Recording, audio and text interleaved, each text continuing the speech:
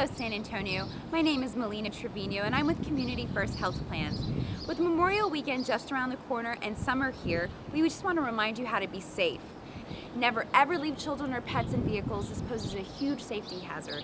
Make sure to drink plenty of water and utilize this shade as much as possible.